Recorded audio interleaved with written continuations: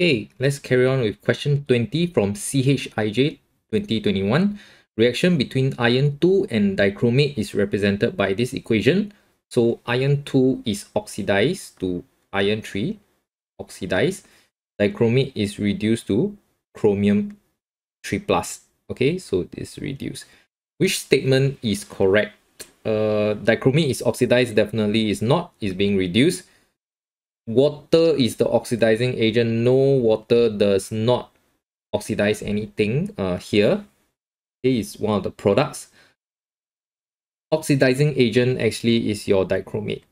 Okay H plus is reduced. Uh no. Now where did that happen? H plus actually combines with OH minus to give water. Okay it's not reduced Iron 2 plus is the reducing agent. Yes, this is true because iron 3, iron 2 plus itself is being oxidized, so it must have reduced dichromate. So our answer here is D.